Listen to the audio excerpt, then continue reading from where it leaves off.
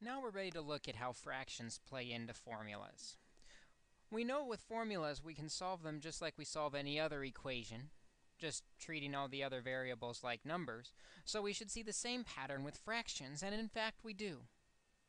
In the past, when we've seen fractions when solving equations, we cleared them by multiplying by the LCD.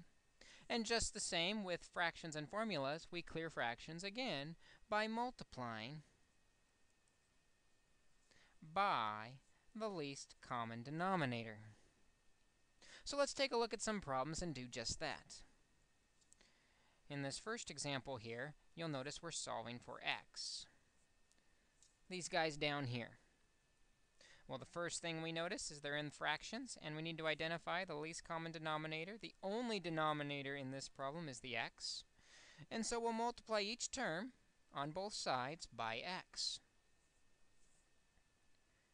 Because when the x's divide out, we're left with 5 plus 4ax equals, the x is dividing out, b. And again, we have a two-step equation, which we can solve by first getting rid of whatever's added or subtracted to x and then dividing. In this case, the 5 is added to the part with x, and so we'll subtract 5 from both sides. This gives us 4ax equals they're not like terms, so we write b minus 5.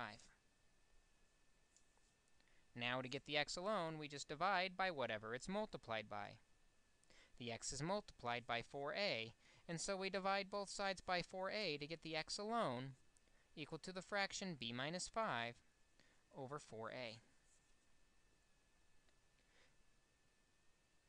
Following the same exact problem process, we're multiplying by the LCD, treating all other variables like numbers. In the second example, this is the formula for the equation of a trapezoid. We're asked to solve for b1. Often with formulas, we have subscripts, and that just tells us that there are two different b's in this equation. We're solving for b1. We want b2 on the other side. Well, again, we've got to clear the fractions by identifying the least common denominator. In this case, we see the denominator of 2.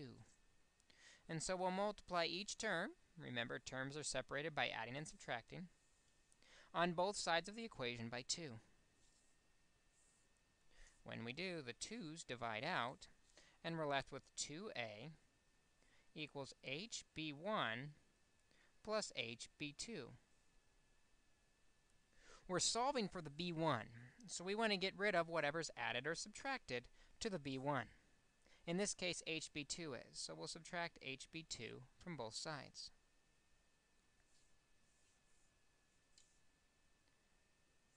Again, not like terms, so we have 2a minus HB2 is equal to the HB1.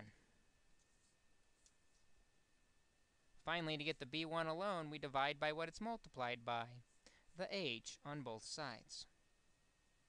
The b1 is now alone, and it's equal to 2a minus HB2 all over H. Again, I want to be careful not to reduce out the h's. Because there's subtraction in the problem, we cannot do any reducing. This is our final solution.